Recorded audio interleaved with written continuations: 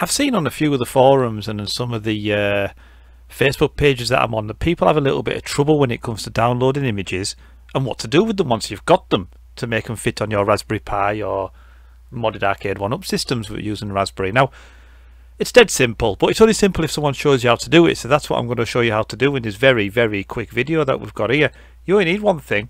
You need one program and a file, and that's it. And you can put it onto your, your SD card. Now, the biggest problem that people have got is what kind of images do I need and what do I do with them when I've downloaded it. Now, wherever you get your images from, I can't tell you where to get that from on this on this page, I'm afraid, because uh, I don't want to shut down.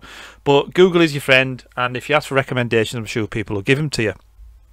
Once you've got the images, they're downloaded in usually in one of two different formats. They're either downloaded like this as a .img file, or they're downloaded in a folder like this. And when you open it up, you see a lot of zip files. You see a lot of zip folders like this, and this instantly confuses people because they think, well, I've downloaded images. Where are they? What they're meant to do? Well, actually, this is your image. This has been uh, zipped or archived. All you've got to do is double click any of them, but double click the top one. And it'll open up the uh, your extractor of choice, and there's your image file.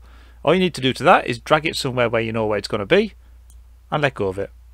Then you let that extract, uh, and then once it's extracted, I'll come back and I'll show you what to do with it next.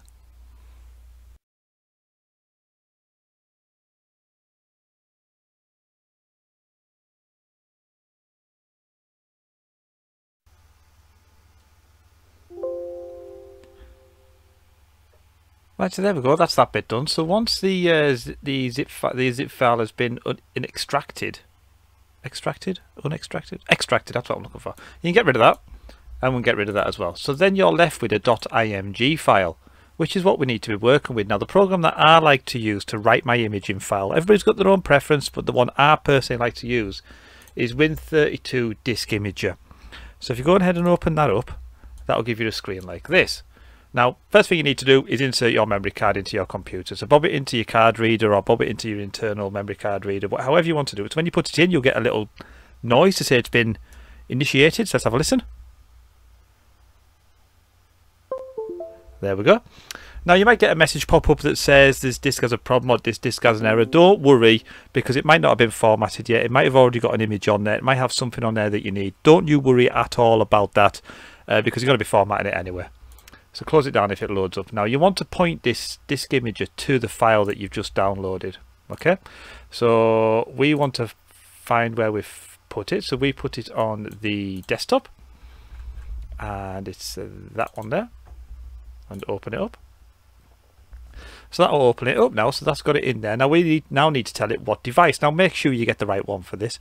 I know that my H drive is my memory card reader, so I'm going to click that. Don't be writing or deleting any backup files or any backup drives that you've got. So H drive's mine.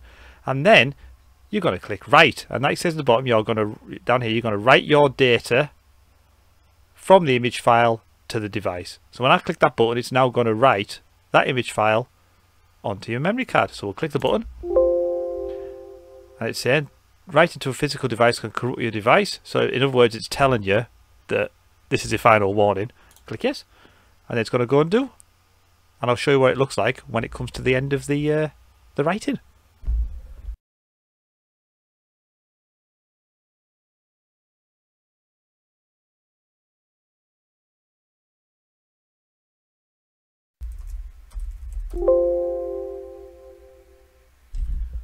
So when it's all been writed and uh, done and dusted guys, this is the message you get. It says write successful. And that's it.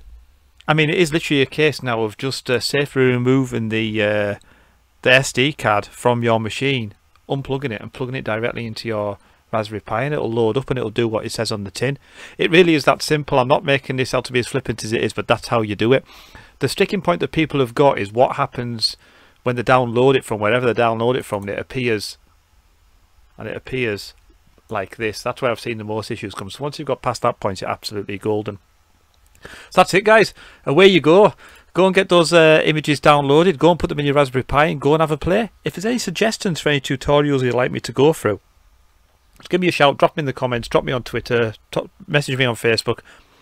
But thanks for watching guys and I will see you next time on Noob Game Reviews.